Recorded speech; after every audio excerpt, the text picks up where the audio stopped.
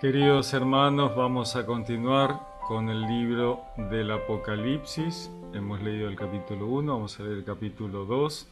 En este capítulo vamos a ver este, que Jesús da mensajes para las iglesias.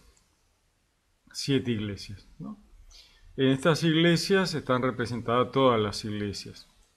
Así que aquí vamos a ver mensajes para determinados tipos, problemas, situaciones de las iglesias desde aquel tiempo hasta ahora y seguramente en el futuro este, ocurrirán este tipo de cosas que aquí Jesús plantea. Recordemos que el Apocalipsis tiene esta cuestión de imágenes que los números no son números, sino valoraciones, como en la Biblia. En toda la Biblia, por lo general, los números son valoraciones y no números exactos. Eh, y Jesús habla desde un lugar. Lo que dice, lo dice desde una posición, una perspectiva, un rol de la divinidad en la historia de la salvación, desde un rol. Así que vamos a ver que cada vez que se dirige a una iglesia, lo hace desde un lugar, ¿no? Vamos a ver. Leamos a la primera. Al ángel de la iglesia de Éfeso escribe, esto dice el que tiene las siete estrellas en su mano derecha, el que camina entre los siete candeleros de oro. Como vemos, esta primera descripción nos da la, perspectiva desde dónde viene lo siguiente, o sea, Jesús nos está diciendo, lo hablo desde acá. El que tiene las siete estrellas en la mano, recordemos que son los ángeles de las iglesias, ¿no? Los candeleros eran las iglesias, así que desde ahí nos habla. El que camina entre los siete candeleros de oro. Los siete candeleros de oro son las iglesias y tiene en su mano los ángeles de las iglesias. O sea, es como que nos habla desde el lugar del protector de las iglesias, del que las supervisa, desde el que está con ellas para acompañarlas ¿no? a la iglesia cristiana desde allí. Dice, conozco tu conducta, tus fatigas y paciencia, y que no puedes soportar a los malvados, y que pusiste a prueba a los que se llaman apóstoles sin serlo, y descubriste su engaño. Tienes paciencia y has sufrido por mi nombre sin desfallecer. Pero tengo contra ti que has perdido tu amor de antes. Date cuenta, pues, de dónde has caído. Arrepiéntete y vuelve a tu conducta primera. Si no, iré donde ti y cambiaré de su lugar tu candelero, si no te arrepientes. Tienes, en cambio, a tu favor que detestas el proceder de los nicolaitas, que yo también detesto. El que tenga oídos, oiga lo que el Espíritu dice a las iglesias. Al vencedor le daré a comer del árbol de la vida que está en el paraíso de Dios.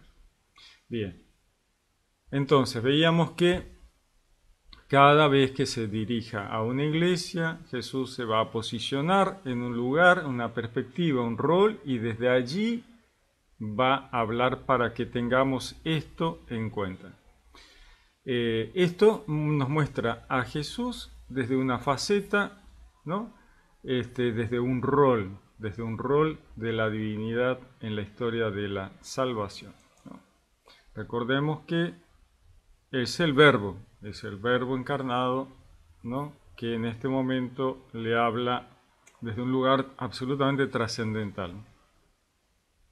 Este primer discurso a la iglesia de Éfeso ¿no? se expresa desde la situación de tener a los ángeles en su mano, o sea, desde este lugar de este, ser el conductor de los ángeles que a su vez supervisan, acompañan, ayudan a las iglesias. ¿no? Este, el tema, como decíamos antes, de caminar con ellas, moverse con ellas, monitorearlas, acompañarlas. ¿no? El que rige, el que ofrece, el que brinda, el que las sostiene. ¿eh? Jesús nos habla, aunque refiriéndose a esas iglesias en particular, habla a todas las iglesias en todos los tiempos. ¿no? A cada uno este, que puede verse identificado, bueno, prestar atención.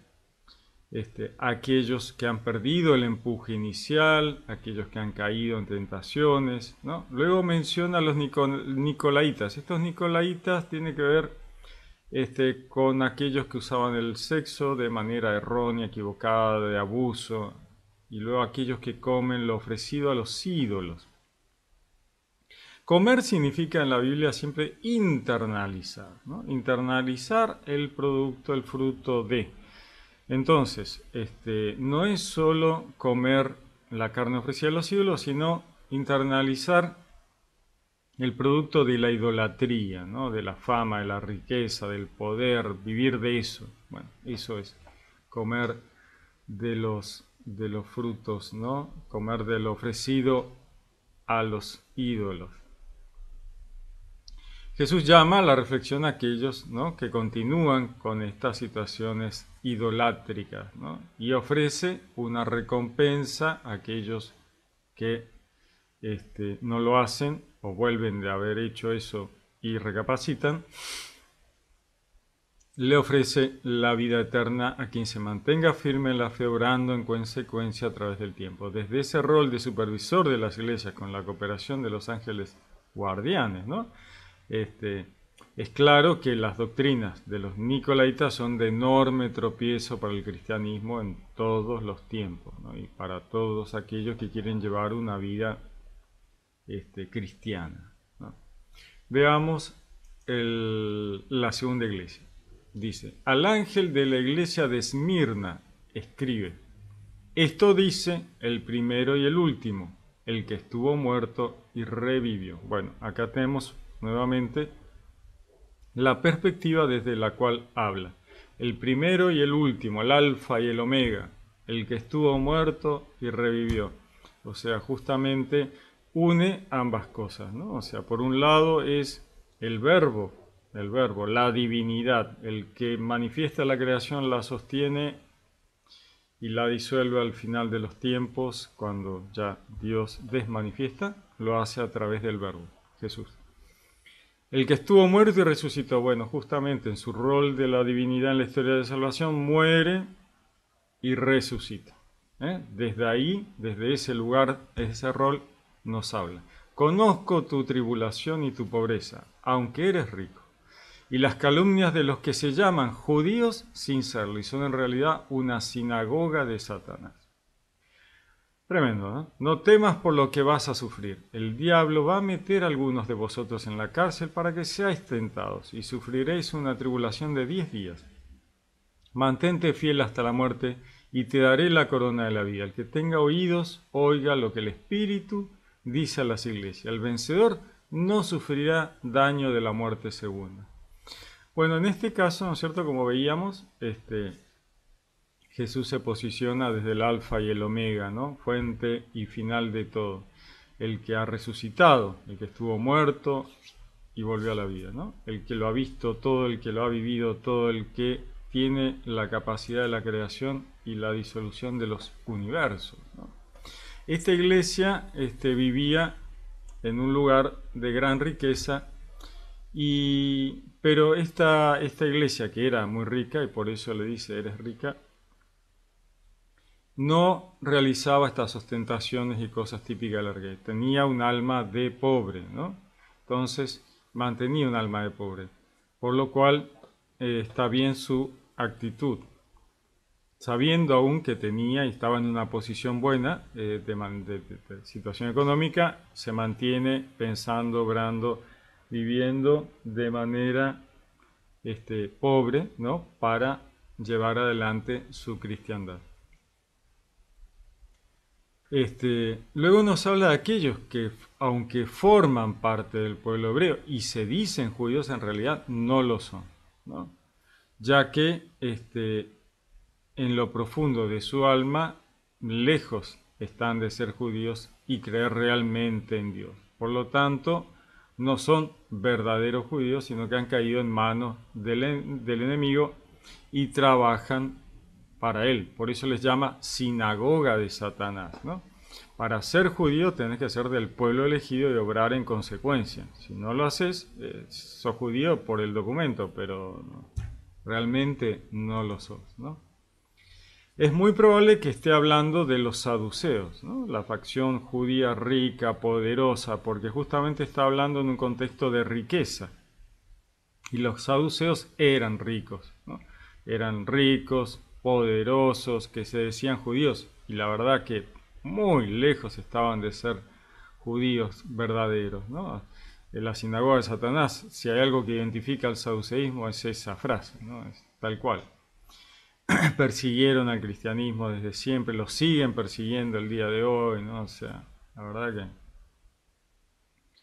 Este, luego nos dice que quien persevere no verá la muerte segunda. Bueno, justamente la primera muerte, la del cuerpo, no tiene ninguna importancia. La que debemos evitar obrando correctamente es la muerte segunda, la del alma. Esa es la que Jesús ha vencido, ¿no? Este, el, sumo sacerdote por lo general salía de la facción saducea, ¿no? Los saduceos tenían el poder sobre el templo.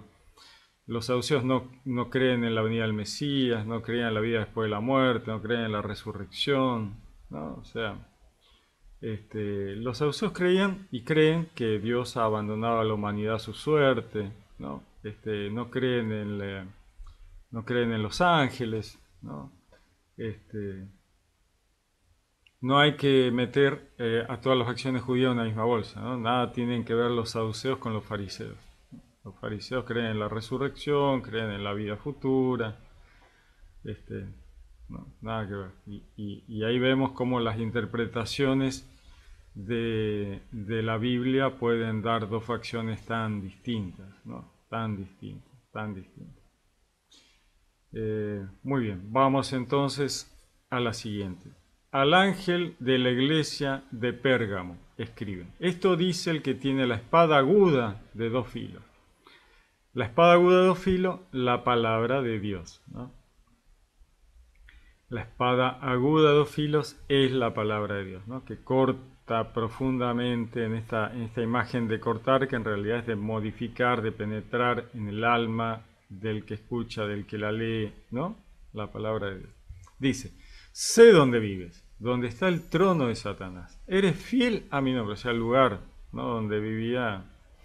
Eres fiel a mi nombre y no has renegado de mi fe, ni siquiera en los días de Antipas, mi testigo fiel, que fue muerto entre vosotros. Antipas, mártir por la iglesia. Ahí donde habita Satanás. Pero tengo algunas cosas contra ti.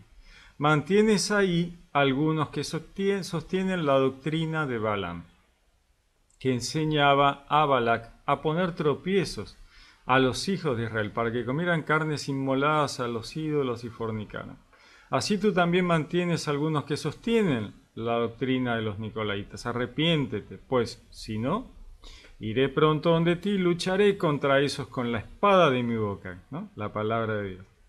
El que tenga oídos oiga lo que el Espíritu dice a las iglesias. El vencedor le daré maná escondido y le daré también una piedrecita blanca y grabada en la piedrecita un nombre nuevo que nadie conoce sino el que lo recibe. ¿No? Entonces vemos que Jesús se para, se posiciona en su rol de palabra de Dios. Un rol de la divinidad en la historia de la salvación. La palabra de Dios. Eh, por otro lado, también es la palabra de Dios la que manifiesta lo que existe, ¿no? Lo que existe, lo que vive es manifestado por la palabra de Dios, que es el verbo, que es Jesús.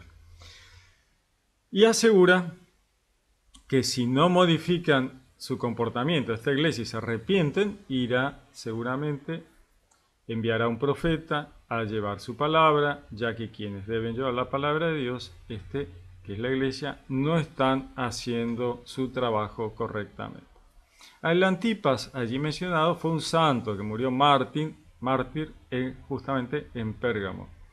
El maná escondido es el pan de la Eucaristía, ¿no? el pan bajado del cielo que reemplazó a todos esos sacrificios animales. ¿no? El maná escondido, el pan de la Eucaristía. La piedra blanca hace referencia a la piedra que se daba en los juicios como significado de inocencia, por eso es blanca, y la culpabilidad era una piedrita negra. El cambio de nombre tiene que ver con un cambio, eh, podríamos decir, de su vida futura, sus proyectos, sus designios. No hablemos de destino porque el destino no existe, sino los proyectos, ¿no? Podríamos hablar de proyectos como cuando Dios le cambia el nombre a Abraham por Abraham, ¿no? Hay un cambio ahí, una, ampliación del, proyecto de Dios para, para Abraham. Este, entonces, Jesús promete la Eucaristía, este, el maná escondido, ¿no? Quitar los pecados, ¿no? declarando a la persona inocente con esta piedrita blanca y darle una vida nueva en la vida futura, un nombre nuevo, este cambio de nombre. ¿no? Muy bien, continúa. Escribe el ángel al ángel de la iglesia de Tiatira. Esto dice el Hijo de Dios, cuyos ojos son como llama de fuego y cuyos pies parecen de metal precioso. Bueno, nuevamente otro rol de la divinidad, ¿no? Hijo de Dios, ¿no? Hijo de Dios. Bueno, ¿qué nos dice este tema de Hijo de Dios? Nos dice, nos habla de una jerarquía en la divinidad, Padre, Hijo, Espíritu Santo, una jerarquía en la divinidad, ¿no? Aunque el libre albedrío llega a todo, incluido cada persona de la Trinidad, de todas maneras hay una jerarquía. El Hijo dice que hace la voluntad del Padre. Obviamente Dios no tiene hijos, pero nos da esta imagen para que podamos tener un pequeño acercamiento a la jerarquía divina, ¿no? Padre e Hijo. Dice, cuyos ojos son como llama de fuego, cuyos, fuego y cuyos pies parecen de metal precioso. Conozco tu conducta, tu caridad, tu fe, tu espíritu de servicio, tu paciencia, tus obras últimas sobrepujan a las primeras. Pero tengo contra ti que toleras a Jezabel, esa mujer que se llama profetisa, y está enseñando y engañando a mis siervos para que forniquen y coman carne inmolada a los ídolos.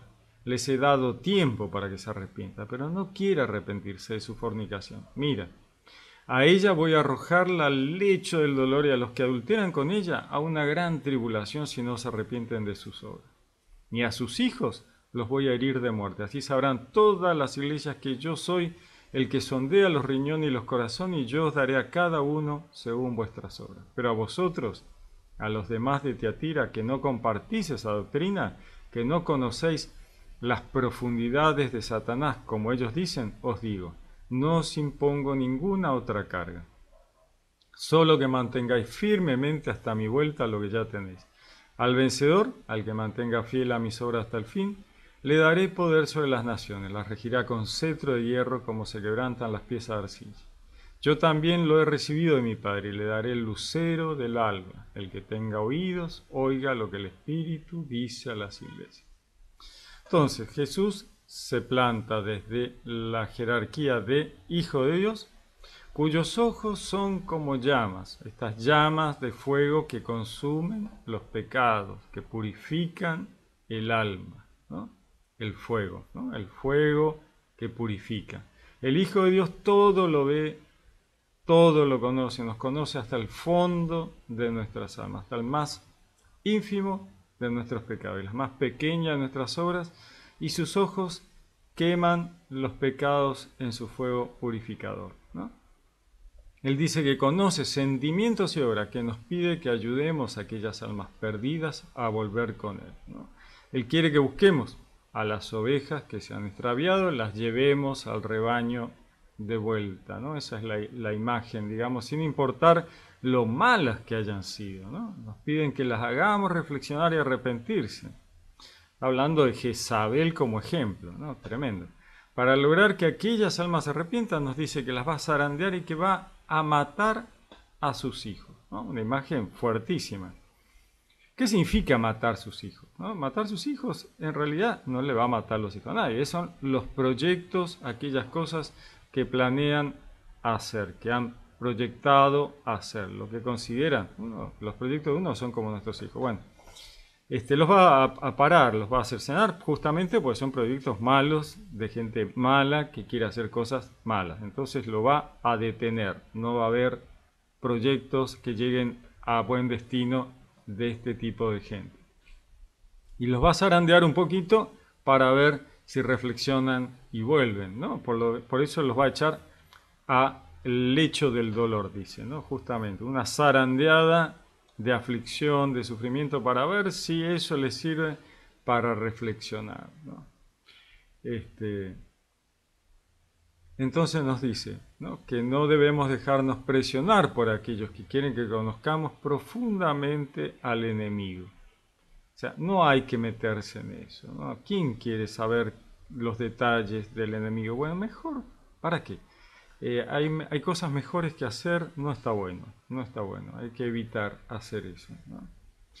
Este, no hay que hurgar en el mal, profundizar en el conocimiento del mal, no, vale la pena. Jesús dice, Jesús dice que no se le impondrá cargas extras a quienes este, no hagan eso, ¿no? que no se metan a hurgar en el mal, no se le va a dar cargas extras casi están bien. Solo le pide que persista en el camino correcto, haciendo lo que es correcto. Por lo que es claro que quienes se interesan por el mal, aún le falta mucho camino por recorrer, y por ello las cargas son mayores para que les sirvan para reflexionar. Aquellos que logren mantenerse en obras acordes a la fe, persistiendo el tiempo, se les dará el poder para administrar firmemente, por supuesto, con amor y misericordia.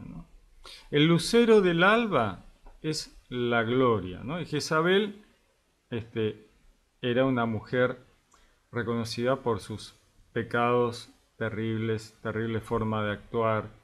Este, Jezabel significa en hebreo no exaltada, ¿no? nombre de una reina de Israel que aparece en los libros de los reyes se trata de una reina de origen fenicio que restableció el culto a los dioses semíticos de Baal, Aserat y él durante su mandato, mandato conjunto con Ahab, y finalmente fue arrojada de los muros de su palacio por sus propios sirvientes, este, hartos de la opresión y costumbres exageradamente, podríamos decir, libertinas. Capítulo 3, eh, capítulo 3 continúa con las iglesias y dice, al ángel de la iglesia de Sardes escribe, esto dice el que tiene los siete espíritus de Dios y las siete estrellas. Desde ese lugar, desde ese lugar nos habla. El que tiene los siete espíritus de Dios y las siete estrellas. ¿no? Los espíritus de Dios, los dones, las estrellas, los ángeles de las iglesias. Conozco tu conducta. Tienes nombre como de quien vive, pero estás muerto. Fuerte, ¿no? Ponte en vela, reanima lo que te queda y está a punto de morir. Pues no he encontrado tus obras llenas a los ojos de mi Dios. Acuérdate, por tanto, de cómo recibiste y oíste mi palabra. Guárdala y arrepiéntete. Porque si no estás en vela, vendré como ladrón y no sabrás a qué hora vendré sobre ti. Tienes, no obstante, en Sardes unos pocos que no han manchado sus vestidos. Ellos andarán conmigo, vestidos de blanco, porque lo merecen. El vencedor será así revestido de blancas vestiduras, y no borraré su nombre del libro de la vida, sino que me declararé por él delante de mi Padre y de sus ángeles. El que tenga oídos, oiga lo que el Espíritu dice a las iglesias. Bien, en este texto Jesús se posiciona desde el lugar del Espíritu Santo, rector, sostenedor de la iglesia, el que brinda los dones, ¿no? Y los que ayudan a las iglesias. Dice que conoce a aquellos que aunque creen estar repletos, en realidad están vacíos. Que aunque creen estar vivos, en realidad están muriendo y le pide, les exhorta a recapacitar y volver a la palabra de Dios. También dice que aún entre ellos hay quienes hacen lo bueno y que por ellos va a mediar ante su Padre, como el Paráclito, como el Espíritu Santo, pidiendo a Dios por las almas. Jesús nos recuerda que él que aquel que va por el mal camino a causa de sus actos está en vía de morir la muerte segunda, la del alma. El no manchar su vestido es el hacer lo correcto, el no corromperse, el no haber caído en tentación. Dice el texto, que quien persista en la fe realizando obras acordes a través del tiempo se le mantendrá en el libro de la vida. Dice que no se lo va a borrar. Bueno, el libro de la vida no existe. ¿No? Partamos de ahí. Es una imagen de quienes van a poder entrar a la vida futura, al reino de los cielos, o no. No hay predestinación, no es que, ah, yo estoy escrito en el libro de la vida desde el principio, entonces puedo hacer lo que quiero, me tiro para arriba y hago todo tipo de macana. No, esto tiene que ver con las acciones. Uno hace obras buenas, entra. Hace obras malas, no entras. Vas a la entrada allá y, te toman ¿Qué hiciste? ¿Por qué hiciste? Vas a dar explicaciones. Bueno, esto es el libro de la vida, ¿no? Una imagen así de te anoto o te borro, o te anoto de vuelta o te borro de vuelta, ¿no? E, este es el tema. Este, no hay predestinación, la predestinación no existe. La predeterminación que a veces se habla es de nivel general a, toda la creación, a la humanidad completa. ¿no? Se predestina a la humanidad a ser santa, sí, obviamente, porque Dios no va a hacer algo para mal. Pero cada uno es libre para tomar la decisión de ¿Entro o no entro? ¿Quiero o no quiero? Si no querés, no querés y te quedas afuera. Si querés entrar, adentro. ¿no? Dios, Jesús siempre ha asociado el reino de los cielos, la vida eterna, a las acciones. Porque tuve hambre me diste comer, porque tuve sed, me diste beber, enfermo y visitaste, en la cárcel me visitaste. ¿no? O sea, este tema de acciones, hacer. ¿no? No es, eh, me tiro para arriba y yo creo. Bueno, los demonios también creen y tiemblan, dice. ¿no? Muy bien, continuamos. Al ángel de la iglesia de Filadelfia escribe, esto dice el santo, el veraz, el que tiene la llave de David. Si él abre, nadie puede cerrar. Si él cierra, nadie puede abrir. Bueno, nuevamente un rol de la divinidad una perspectiva desde la cual nos habla, la realeza, el rey de la casa de David, la llave de David. Esto dice el santo, el veraz, la verdad absoluta. ¿no? El que abre y nadie puede cerrar, el que cierra y nadie puede abrir. ¿no? O sea, la última palabra, única palabra. Dice, conozco tu conducta, mira que he abierto ante ti una puerta que nadie puede cerrar, porque aunque tienes poco poder, has guardado mi palabra y no has renegado de mi nombre. Mira, que te voy a entregar algunos de la sinagoga de Satanás, de los que proclaman, de los que se proclaman judíos y no lo son, sino que mienten. Yo haré que vayan a postrarse delante de tus pies, para que sepan que yo te he amado, ya que has guardado mi recomendación de ser paciente. También yo te guardaré de la hora de la prueba que va a venir sobre el mundo entero para probar a los habitantes de la tierra. Vengo pronto, mantén con firmeza lo que tienes para que nadie te arrebate tu corona. Al vencedor le pondré de columna en el santuario de mi Dios y no saldrá fuera ya más. Y grabaré en él el nombre de mi Dios y el nombre de la ciudad de mi Dios, la nueva Jerusalén, que baja del cielo enviada por mi Dios y mi nombre nuevo. El que tenga oídos, oiga lo que el Espíritu dice a las iglesias. Como decíamos, Jesús aquí se planta en su veracidad del linaje de David, que dice la verdad. ¿no? Por otro lado, se posiciona en el hebreo, en el judío, en el pueblo judío que trae la puerta de la salvación, el Mesías. ¿no? El pueblo hebreo, del cual pertenece el linaje de David, el pueblo elegido, es el encargado de traer, preparar el terreno para la llegada del Mesías y de esa manera traer al Mesías, que es la puerta para entrar al reino de los cielos. Ese es, gracias a él, entramos al reino futuro, al reino de los cielos, a la vida eterna. La puerta abierta que nadie puede cerrar. Una puerta abierta porque Jesús trae la salvación por gracia, no, no por este, haber hecho transacciones con Dios o negocios con Dios que justificaran que Dios nos diera la gracia, sino este, en este en esta, eh, tema de las religiones de transacción de la antigüedad, donde todo era pagado a los dioses para esto, pagado para aquello, pagado para los otros con sacrificios humanos, Dios dice, no, no, la salvación es gratis porque yo amo a la humanidad. Así que yo los voy a salvar de manera gratuita. ¿No? No tienen que haber hecho nada, los salvo porque los amo. ¿no? Entonces la salvación es por gracia, pero la entrada es individual. Cada uno entra si se porta bien, ¿no? Esa es. Y es una puerta abierta, así la ve Juan en el cielo, una puerta abierta que nadie puede cerrar. Muy bien, entonces, este, la entrada es por buenas obras, ¿no? Por la fe persistente en el tiempo, de buenas obras, de amor al prójimo, ¿no? Este, dice que quienes guardan su palabra, Dios ama y los pone de modelo, de columna, ¿no? De, columna sobre la que está, ¿no? Este, esta, esta imagen, ¿no? El modelo de aquellos que dicen guardar, este, aquellos que guardan la palabra de Dios, ¿no? Sin embargo, por otro lado están los que dicen que lo hacen y no lo hacen. ¿no? Y de ahí él llama la sinagoga de Satanás. Aquellos que se dicen judíos, se dicen que guardan la Torah y no la guardan. ¿no?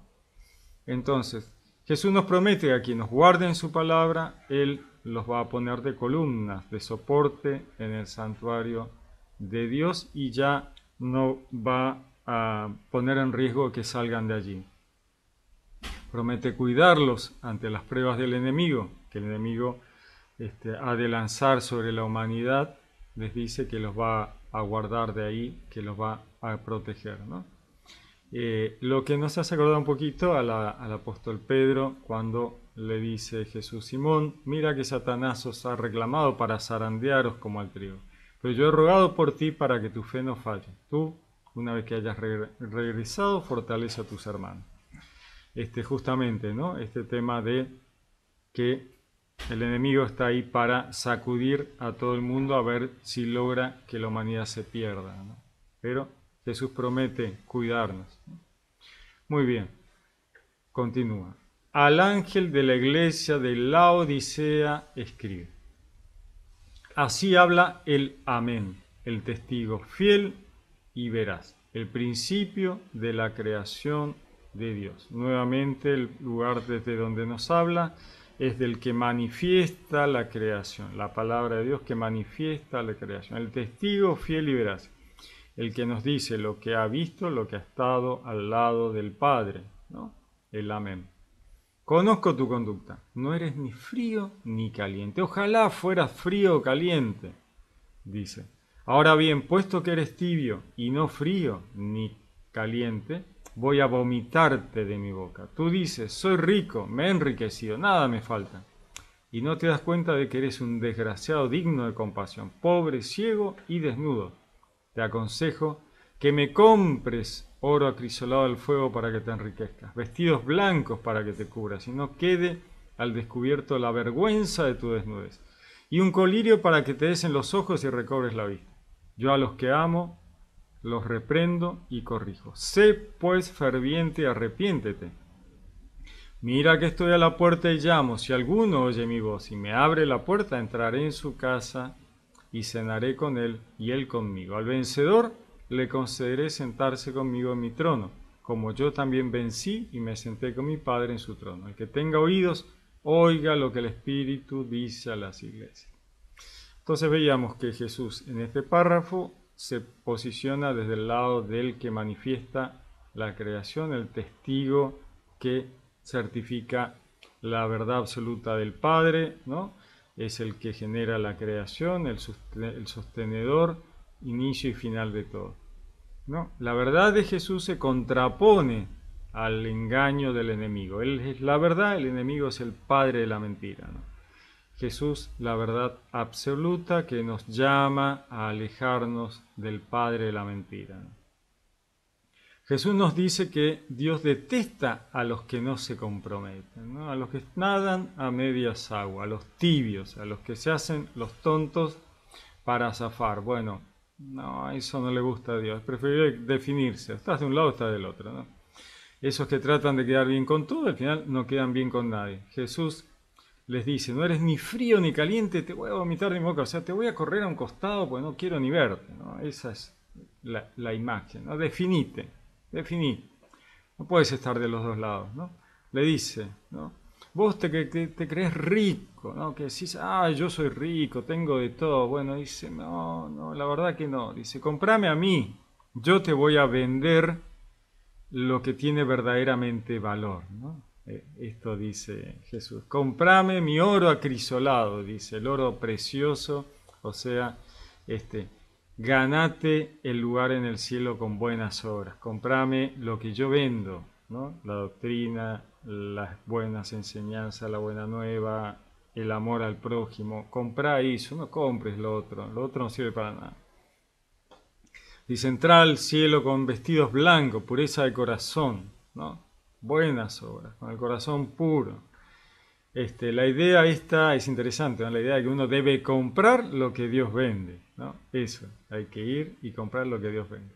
Este, lo que ofrece Dios para estar en su presencia. El crisol son las pruebas que templan ese oro. ¿no? Este, la, hay que tratar de este, que son todas buenas obras que están recontraprobadas y que eso nos lleva con seguridad al reino de Dios.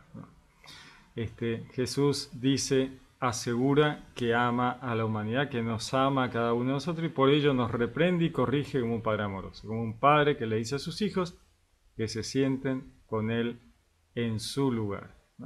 Es muy interesante, muy lindo, las imágenes que utiliza eh, es es muy interesante. El vencedor, ¿no? Este tema de vencer, porque es una lucha, es una guerra contra el mal, ¿no? Así que es cuestión de persistir y vencer. El vencedor, ¿no? El vencedor, hay que tratar de estar entre los que venzan al final y logren llegar este, con persistencia, con fe y buenas obras, ¿no? Con las buenas obras hasta el final. Muy bien, muy bien. Bueno, recordemos que todas estas iglesias simplemente son imágenes que nos remiten a las iglesias eternas, o sea, las iglesias anteriores, las que están en este momento, las iglesias del futuro, este, representando situaciones que van a ocurrir una y otra vez y debemos estar atentos para recapacitar, volver, pensar, analizar y no caer en los errores, ¿no? para poder alcanzar la puerta abierta y pasar a través de ella, para alcanzar el reino de los cielos. Muy bien, les deseo un lindo día, que Dios los bendiga, los saludo con gran afecto, les habló Pablo Castro.